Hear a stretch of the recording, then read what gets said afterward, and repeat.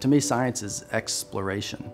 It is trying to learn something about an area that you know nothing about. We're looking to delve into deep and difficult concepts together, finding new solutions to new questions. And mathematics is how we make the unknown known.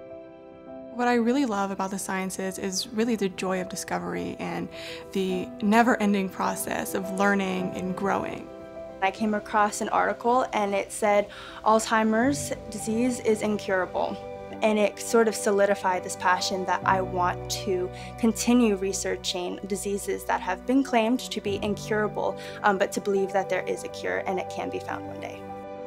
As Dean here of the College of Sciences and Mathematics, I'm extremely passionate about providing opportunities for our students to explore lots of projects you can come to Belmont here and engage in and do really high-level research at an undergraduate pace.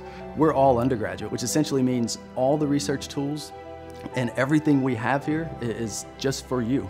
Sometimes when you're working on your own research project, it's, it's a little surreal. You're like, am I actually doing these things that I've seen in movies, you know, uh, people are doing in labs, but this is like your life. Honestly, in the end, I think science probably brings out uh, the kid in a lot of us because we spend a lot of time in a lab trying just to learn and explore things that we don't know.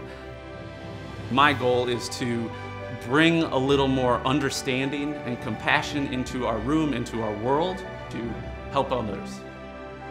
I found people who motivate me and encourage me and inspire me to do better. start your journey to your career path, to your true passions and purpose and desires in life, you have an opportunity to do so much more than you ever thought that you could. It's just such a beautiful process.